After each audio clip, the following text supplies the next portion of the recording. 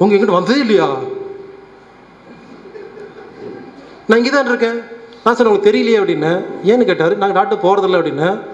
அதனால தான் செத்து போயிட்டாரு. உண்மையாக நடந்தது. அந்த நேரத்தில் ஒன்றும் பேச முடியல. இப்படி உட்காந்துட்டு என்ன பண்ணுறாங்க நம்ம உறுப்பு வெட்டி எடுத்துட்டு இருக்கிறாங்க. தேவையில்லை. சர்க்கரைக்கு எப்போ நோய் வருதோ சர்க்கரைக்கு மாத்திரை சாப்பிட்றீங்களா? டோஸ் அதிகமாயிட்டே போகுதா? புது உறுப்பு பாதிக்குதா? வெட்டி எடுக்கிறாங்களா? இப்படி போக போக என்ன ஆகும் கடைசியில் டோஸ் அதிகமாகிட்டே போகும். ஒரு குறிப்பிட்ட ஸ்டேஜ் என்ன ஆகும் இன்சுலின் கொடுப்பாங்க. இன்சுலின்ங்கிறது என்ன தெரியுமா? மாத்திரைக்கு இன்சுலினுக்கு என்ன வித்தியாசம்னா மாத்திரை நேராக உள்ளே போய் கணைத்துக்கிட்ட இன்சுலின் பிடுங்கும். இன்சுலின் ஊசி என்ன பண்ணும்? ஏ கணையம் நீ எல்லாம் ஒன்று இன்சுலின் கொடுக்க வேண்டாம். நான் ஏற்கனவே பண்ணிக்கிட்ட எலிகிட்ட பிடுங்கி வச்சுருக்கேன்னு சொல்லி அந்த ஊசி எடுத்து குத்திக்கிறது. இந்த பண்ணிக்கிட்டு எலிகிட்ட பிடுங்கின இன்சுலின் தூக்கி குத்திட்டு சாப்பிட்றதுக்கு முன்னால் பத்து யூனிட் போடணுமாம்மா அதுக்கப்புறம் சாப்பிடணுமா? என்ன அர்த்தம்? சாப்பிட போகிற சாப்பாடு ஒழுங்காக ஜீரணமாகி நல்ல சர்க்கரையாக வந்துருச்சுன்னு முதல்லையே சர்டிஃபிகேட்டை போட்டு சாப்பிட்டா எப்படி தப்பு தப்பாக சாப்பிட்டுக்குங்க? இந்த கெட்ட சக்கரை உள்ளே போனோம்னா சட்டிட்டு இருக்குமா? எடுத்துட்டு எடுத்துட்டு செல்லுக்குள்ளே போந்துருமா பீரோக்கு போயிருமா? இப்படி சுகரை கஷ்டப்பட்டு நார்மலாக வச்சுக்கிட்டு யாராவது ஒருத்தர் சொல்லுங்கள் நான் ஐந்து வருடமாக சுகருக்கு மருந்து மாத்திரை சாப்பிட்டு கொண்டிருக்கிறேன். நல்லா இருக்கேன்னு சொல்லுங்க. நல்லா இருக்கீங்களா? நாசமாக போயிட்டீங்களா? அப்போ யோசிச்சு பாருங்க. சுகர் கண்ட்ரோல் பண்ணி வைக்கிற நாலு பேருக்கு பிரயோஜனம் இருக்கா? அப்புறம் சக்கரை நோய்க்கு எல்லாத்துக்கும் பாருங்க ஒரே நோய் வரும். உள்ளங்காலில் குத்துது கொடையுது வலிக்குது எரியுது மத மதப்பாக இருக்கா? அது என்ன சக்கரை நோய்க்கு ஏன் காதில் பிரச்சனை வரல மூக்கிலையும் பிரச்சனை வரல? அது என்ன காலில் மட்டுமே பிரச்சனை வந்துட்டு இருக்கு ஏன்னா இந்த பாட்டிலில் தண்ணி பாருங்க கீழ் நோக்கி தானே போகும்? இந்த பாட்டிலில் பாட்டம் தானே அதிக தண்ணி சாப்பிட்ருப்பாரு தண்ணி கொஞ்சம் ஊற்றினாலும் இவருக்கு போயிருமா? பாருங்க இவர் இப்போ சாப்பிடல தண்ணி சாப்பிடல இல்லை இவர் பார்த்தீங்கன்னா எப்பவுமே சாப்பிட்டே இருப்பார். அப்போது இந்த உடம்பு தான் பாட்டிலு தண்ணி தான் ரத்தம். நாம் சாப்பிட்ற சா சர்க்கரை மாத்திரை இன்சுலின் மூலமாக கிடைக்கிற கெட்ட சர்க்கரை முதல் முதல்ல உள்ளங்கால் இருக்கிற செல்லுக்குள்ள தான் போகும். அப்போ கெட்ட சர்க்கரை உள்ளே போனால் இந்த செல்லு கெட்டு போகுமா? கெட்டு போகிறதில்ல செத்து போகுது. உள்ளங்கால் எப்போ குடையுது குத்துது எரியுது வலிக்குது மத மதப்பாக இருக்குன்னு சொல்கிறீங்களோ இங்கே இருக்கிற கால் இருக்க செல்கள் கெட்டெல்லாம் போகலை. செத்து போயிட்டு இருக்க அடையாளம். ஆனால் மருந்து மாத்திரை மட்டும் நிறுத்த மாட்டேங்க.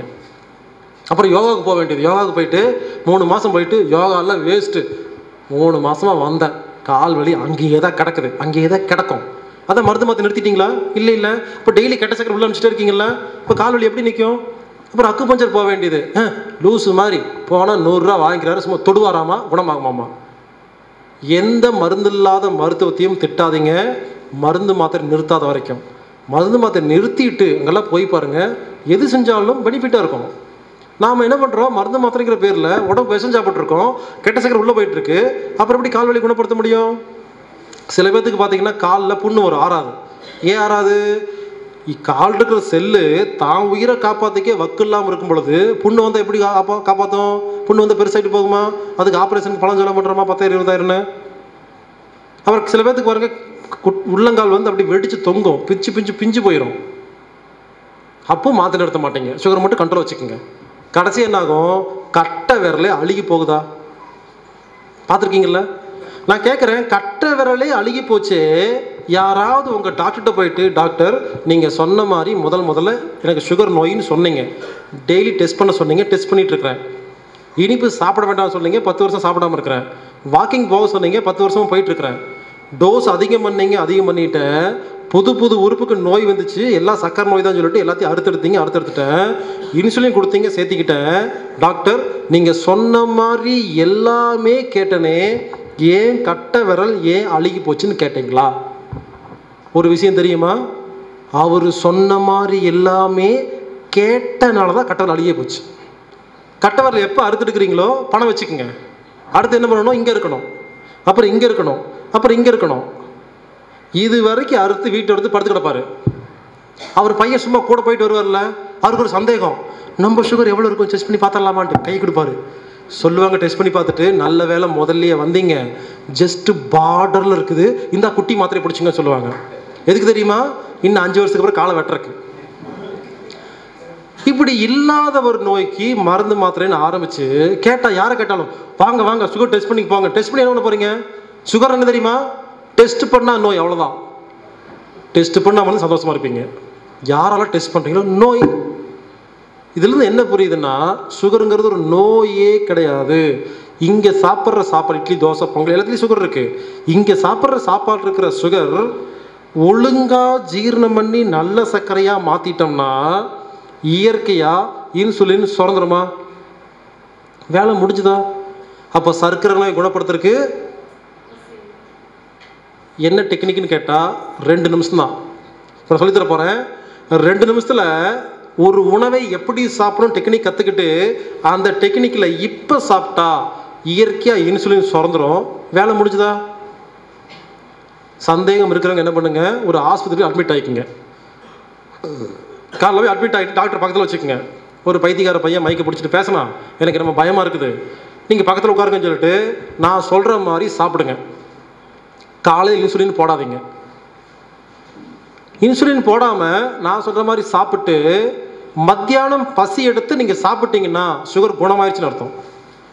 ஏன்னா சாப்பிட்ட சாப்பாட்டுக்கு ரெண்டு மணி நேரத்துக்கு இன்சுலின் சுரக்கணும். சுரக்கலைன்னா மயக்கம் வரணும்? எப்போ உங்களுக்கு மயக்கம் வரலையோ? இன்சூரன்ஸ் சுரந்துருச்சுன்னு அர்த்தமா? அப்போ நோய் குணமாயிருச்சுன்னு அர்த்தமா? இப்போ ஒரு நாலு நாள் ஆஸ்பத்திரியில் இருந்து பாருங்க. நாலு நாளில் மயக்கமே வரலன்னா கணையம் தப்பு பண்ணதா நீங்கள் தப்பு பண்ணதா புரிஞ்சுட்டா புரிஞ்சு போச்சா? இதுலேருந்து என்ன புரியுதுன்னா கணையம் தப்பு பண்ணுறதுனால நோய் கிடையாது. நாம் சாப்பிட்ற சாப்பாடு ஒழுங்காக ஜீரணமாகலை. இது ஜீரணம் சம்மந்தப்பட்ட நோயே தவிர கணையம் சம்மந்தப்பட்ட நோய் இல்லை. எல்லாரும் ரொம்ப ஆர்வமாக இருப்பீங்க. அந்த ரெண்டு நிமிஷம் டெக்னிக் என்னன்னு கற்றுக்கிறக்காக அந்த ரெண்டு நிமிஷம் டெக்னிக் என்னென்னா சொல்ல மாட்டேன். அஞ்சு மணிக்கு தான் சொல்லுவேன். சரி நாம தான் கற்றுக்கிட்டமே எந்திரிச்சு வீட்டுக்கு போயிட்டீங்கன்னா தனியாக உட்காந்து பேசிட்டு இருக்கிறதா? இது கிளைமேக்ஸில் சஸ்பென்ஸ் அப்படியே இருக்கட்டும். அப்போ தான் உட்காருவீங்க அஞ்சு மணி வரைக்கும். இது வரைக்கும் நாம் பார்த்தது உடம்புல வர எல்லா நோய்களுக்கும் மொத்தம் அஞ்சே அஞ்சு காரணம். அது தெரியாதவங்க மறுபடியும் ஞாபகப்படுத்திக்கங்க. இது புரிஞ்சாதான் இந்த தெரப்பியே புரியும். இரத்தத்தில் ஒரு பொருள் கெட்டுப்போனா நோய். ஒரு பொருள் இல்லாமல் போனால் இரத்தத்தின் அளவு கம்மியாக போனால் மனசு கெட்டுப்போனால் அறிவு கெட்டுப்போனால் இதில் இரத்தத்தில் ஒரு பொருள் கெட்டு போனாங்கிறது எவ்வளோ சின்ன நோய்? இந்த நாலுல தானே சின்ன நோய்? அந்த சின்ன நோயில் இருக்கிற ஒரு குட்டி உட்பிரிவு தான் சக்கரை நோய். ரத்தத்தில் எத்தனையோ பொருள் இருக்குது சர்க்கரை கெட்டு போனாவே இந்த நோய்னா calcium iron sodium magnesium fat எவ்வளோ பொருள் இருக்குது அப்போ ஒவ்வொன்றும் கெட்டு போன நோய் வருங்களா? இப்படி ஒவ்வொரு பொருளாக பார்க்கலாம். கால்சியம் கெட்டு போனால் என்ன நோய்? பொதுவாக சொல்கிறாங்க பாலில் தான் நிறையா கால்சியம் இருக்குது நிறையா பால் சாப்பிடுங்க பால் சாப்பிடுங்கன்னு சொல்கிறாங்களா பாலில் மட்டும்தான் கால்சியம் கிடையாது. எல்லா உணவுலையும் கால்சியம் இருக்குது நான் கேட்குறேன் கோழி பால் குடிக்குதா? அது முட்டை போடுதில்ல. அதில் கால்சியம் இருக்குல்ல. எங்கிருந்து வந்துச்சு? அதை விடுங்க. மாடு பால் குடிக்குதா? அது இலதலையே சாப்பிடுது. பால் கொடுக்குதில்ல. அப்போ நாமளும் கீரை வாங்கி சாப்பிட்டா கால்சியம் கிடைக்குமா? கீரையில் கிடைக்கிற கால்சியம் நல்ல கால்சியம் பாலில் கிடைக்கிறது நல்லது தான் இப்போ இருக்கிற பாலில் கிடையாது. அதனால் கீரை நிறைய சாப்பிடுங்க.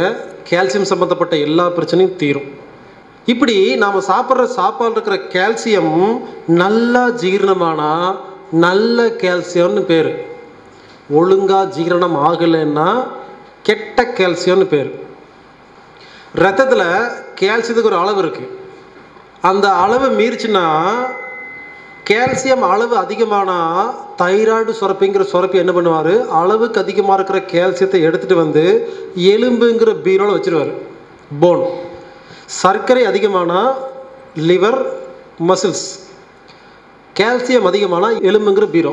அதே மாதிரி ரத்தத்தில் கால்சியம் அளவு கம்மியாக போனால் பாரா தைராய்டுங்கிற சுரப்பி என்ன பண்ணுவார்? எலும்பை உடச்சி எலும்பில் இருக்கிற கால்சியத்தை கொண்டு வந்து ரத்தத்தில் கொட்டிடுவார். ரத்தத்தில் கால்சியத்தை மெயின்டைன் பண்ணுற உறுப்புக்கு பேர் தான் தைராய்டு சுரப்பி. இப்போ சொல்லுங்கள் நாம் சாப்பிட்ற சாப்பாடு ஒழுங்காக ஜீரணமாகாமல் கெட்ட கால்சியம் உள்ளே போச்சுன்னா இந்த கெட்ட கால்சியத்தை எடுத்துகிட்டு போய் எலும்பில் வச்சா எலும்பு டேமேஜ் ஆகுமா? உடஞ்சி போகும் பல்ஜ் ஆகும் தேஞ்சு போகுமா? இப்போ சொல்லுங்கள் மூட்டு வலி முழங்கால் வலி இந்த மாதிரி எலும்பு சம்மந்தப்பட்ட எல்லா நோய்க்கும் தைராய்டு சுரப்பு தான் காரணம்னு சொல்கிறாங்கல்ல அந்த சுரப்பி காரணமா? இல்லை அந்த சுரம்பி எடுத்துகிட்டு போகிற கால்சியம் காரணமா? அப்போ அந்த கால்சியத்தை சரி பண்ணால் தானே அதெல்லாம் சரியாகும்? இதை பற்றி யாரும் பேசாமல் என்னமோ சுரப்பி தப்பு பண்ணுது சுரப்பி தப்புன்னு சொல்லிட்டு இருக்கிறாங்க அதே மாதிரி சதை இருக்கு இல்லையா? சதை விரிஞ்சு சுருங்குதில்ல? எலாஸ்டிக் மாதிரி. சதை விரியருக்கு கால்சியமும் சில பொருளும் வேணும். சுருங்கருக்கு சோடியம் சில பொருள் வேணும். அதை செய்கிறது தைராய்டு சுரப்பி. அப்போது ரத்தத்தில் சதை விரிய தேவையான சில பொருள் கெட்டுப்போனால் என்னாகும்? சுருங்கும் விரியாது. சுருங்க விரியாது. விளையாட்டு போயிடுவீங்களா சதையெல்லாம் சப்பின்னு போயிருமா? சதைகள் சுருங்க தேவையான சில பொருள் ரத்தத்தில் கெட்டு போனால் என்னாகும்? இந்த சுரப்பினால் அதை வந்து சுருங்க வைக்க முடியாதா? அப்போது விரியுவோம் சுருங்க மாட்டோம். விரியுவோம் சுருங்க மாட்டோம் குண்டாயிடுவோம் உடம்பு குண்டாகிறதுக்கும் ஒல்லியாக இருக்கும். தைராய்டு சுரப்பி தான் காரணம்னு சொல்கிறாங்களே தைராய்டு சுரப்பி காரணம் இல்லை. அந்த தைராய்டு சுரப்பி எந்தெந்த பொருளையெல்லாம் எடுத்துகிட்டு போய் வைக்கிதோ எடுக்குதோ அதில் கெட்டு போனால் மட்டும் இல்லாமல் போனால் மட்டும்தான் பிரச்சனை வரும். அப்போ அந்த பொருளை நல்ல பொருளாக மாற்றுறதுக்கு டெக்னிக் கால்சியம் சோடியம் அயோடின் போன்ற தைராய்டு சுரப்பி ஹேண்டில் பண்ணுற பொருளினுடைய தரத்தை சரி பண்ணிட்டா தைராய்டு சம்மந்தப்பட்ட எல்லா நோயும் குணமாயிருமா? இதை விட்டுட்டு இந்த சுரப்பி ஆராய்ச்சி பண்ணி அது ஏன் தப்பு பண்ணுது கம்மி பண்ணுதுன்னா அதெல்லாம் தப்பெல்லாம் பண்ணல. நாம் தப்பு பண்ணுறோம் ஒரு விஷயம் புரிஞ்சுக்குங்க. உலகத்தில் இருக்கிற எல்லா மருத்துவத்துக்கும் இந்த சிகிச்சைக்கும் ஒரு மூணு வித்தியாசம் இருக்குது முதல் வித்தியாசம் உறுப்புகளில் நோய் கிடையாது இரத்தத்தில் தான் நோய். ஃபஸ்ட்டு ரெண்டாவது இரத்தத்தில் நல்ல பொருள் கெட்ட பொருள் இருக்குது இது ரெண்டாவது வித்தியாசம். ஒரு ஷர்ட் வாங்கணும்னு ஐநூறுரூவா முந்நூறுரூவா சொல்கிறோமா ஒவ்வொரு பொருளும் நல்ல பொருள் கெட்ட பொருள் இருக்கா? அப்போ ரத்தத்தில் இருக்கிற பொருளை மட்டும் ஏன் நல்ல பொருள் கெட்ட பொருள் இல்லை? அதை சரி தெரிஞ்சுக்கிட்டீங்கன்னா போதும். ரெண்டாவது வித்தியாசம். மூணாவது வித்தியாசம் நம்ம உடம்புல இருக்கிற எந்த உறுப்பும் எந்த சுரப்பியும் தப்பே பண்ணாது. எழுதி கொடுக்குறாங்க malfunction of kidney malfunction of pancreas எழுதி கொடுக்குறாங்களா? நீங்கள் ஃபைல் வச்சுக்கிறீங்களா? பெரிய பெருமையாக சொல்கிறீங்க என் கிட்னி மால் ஃபங்க்ஷன் பண்ணுது?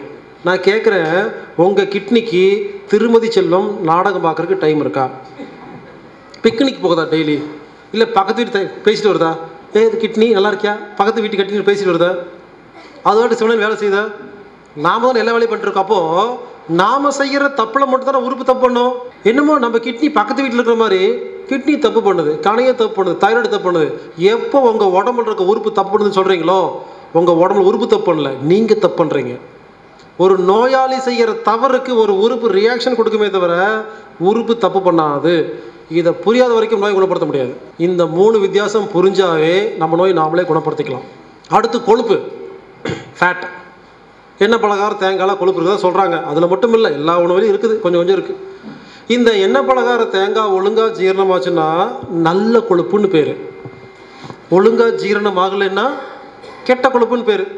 நல்ல கொழுப்புக்கு குட் கொலஸ்ட்ரால்னு பேர். கெட்ட கொழுப்புக்கு பேடு கொலஸ்ட்ரால் பேர். புரியுதுங்களா? உங்கள் யாருக்கும் புரியக்கூடாது அப்படின்னு என்ன பண்ணுவாங்க? ஹெச்டிஎல் எல்டிஎல்னு சொல்கிறாங்களா ஒன்றும் புரிய மாட்டேங்குது பயமாக இருக்குது. ஐயோ என்னமோ நோய் வந்துருச்சோன்னு. ஹெச்டிஎல்னா high density lipoprotein LDL low density lipo அதாவது ஒழுங்காக ஜீரணமான கொழுப்பு நல்ல கொழுப்பு. ஒழுங்காக ஜீரணமாகாது கெட்ட கொழுப்பு. முடிஞ்சு போச்சா? இப்படி சொன்னால் புரியுதில்ல? அதாவது கொழுப்பு ஒழுங்காக ஜீரணமான ஹெச்டிஎல் இது எவ்வளோ உடம்புக்குள்ளே போனாலும் எந்த நோயும் வராது. எல்டிஎல்ங்கிற கெட்ட கொழுப்பு உள்ளே போனால் தான் உள்ளே போய் நோய் உண்டு பண்ணோம். என்ன பண்ணும்? இந்த கெட்ட கொழுப்பு அங்கங்கே நின்று போயிடும் இதுக்கு பேர் கொழுப்பு கட்டின்னு பேர். ரத்த நாளங்களில் அடைச்சதுன்னா பிபி அதிகமாகும். இருதயத்தில் போய் நாளத்தில் அடைச்சிருச்சுன்னா அட்டாக் வரும். இல்லை பிளாக்னு சொல்கிறாங்கல்ல அது எது வருதுன்னா கெட்ட கொழுப்பு கட்டி அடைச்சிக்கிச்சு. இப்படி கெட்ட கொழுப்பு செல்லுக்குள்ளெல்லாம் போச்சுன்னா செல்லுக்கு நோய் வருமா? அப்போது கெட்ட கொழுப்பு நல்ல கொழுப்பு தானே பிரச்சனை. அதை டெஸ்ட் பண்ணி என்ன பண்ண போகிறீங்க இனிமேல் உள்ள சாப்பிட்ற கொழுப்பு நல்ல கொழுப்பாக மாற்றுறதுக்கு டெக்னிக் தெரிஞ்சு போச்சுன்னா நோயை குணப்படுத்திட்டு போக வேண்டியது தானே. என்ன பண்ணுவாங்க? இந்த கொழுப்பு கட்டி வந்துச்சுன்னா அறுத்து எடுக்கிறதுக்கு ஆப்ரேஷன் பண்ணுறாங்களா அறுத்து எடுக்கிறதுக்கு ஆப்ரேஷன் பண்ணுறீங்களே இனிமேல் எப்படி கொழுப்பை நல்ல கொழுப்பாக மாற்றுறதுன்னு டெக்னிக் சொல்லி கொடுத்தீங்களா? அப்போ மறுபடியும் கொழுப்பு கட்டி வருமா வராதா? இருதயத்தில் நாலு இடத்துல அடைப்பு இருக்குன்னு சொல்லி பைபாஸ் பக்கமாக போய் பைபாஸ் சர்ஜரி பண்ணிடலாமா? இல்லை பலூன் விட்டு சேஞ்சோ பண்ணிடலாமா? அப்படின்னு கேட்குறாங்கல்ல நான் கேட்குறேன் அந்த நாலு குட்டி கொழுப்பை வெளியே எடுக்கிறதுக்கு தானே சயின்ஸ் இருக்குது உள்ளே போகிற கொழுப்பை நல்ல கொழுப்பாக மாற்றுறதுக்கு யாராவது டெக்னிக் சொல்லி கொடுத்தாங்களா? அதுக்கு பொதுவாக என்ன பண்ணுவாங்க? இனிமேல் நீங்கள் கொழுப்பே சாப்பிடக்கூடாது. எண்ணெய் பலகாரம் பக்கம் போகவே கூடாது. தேங்காய் சாப்பிடக்கூடாதுன்னு சொல்கிறாங்களா அதாவதுங்க கொழுப்பு பல பேர் சாப்பிடாம இருக்கீங்களா கொழுப்பு சம்மந்த பொருள் சாப்பிடாம இருக்கீங்களா? யார் யாரெல்லாம் கொழுப்பு சம்மந்தப்பட்ட பொருள் சாப்பிடாம இருக்கீங்களோ மிகப்பெரிய நோய் வரப்போகுது உங்களுக்கு. ஏன் தெரியுமா? உடம்புல இருக்கிற எல்லா செல்லுக்கும் அத்தியாவசிய சாப்பாடு கொழுப்பு தெரியுங்களா? ஒரு செல்லுக்கு இன்னொரு